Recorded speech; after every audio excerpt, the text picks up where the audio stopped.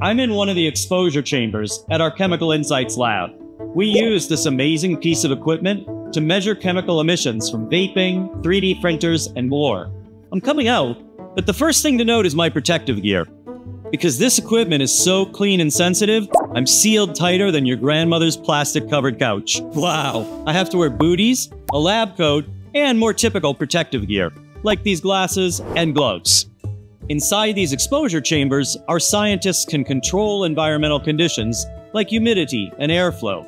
Then, we place technologies or products inside to learn if they emit chemical hazards. We're talking 3D printers, furniture, vapes. Once inside, we measure the levels of gases and aerosols they emit into the air and determine what hazardous chemicals are present, like volatile organic compounds. Basically, the cast of characters you don't want crashing your lungs party. Next, we analyze the data and conduct modeling to evaluate health risks. Our scientists are working to make the air we breathe less like a chemistry experiment gone rogue and more like air.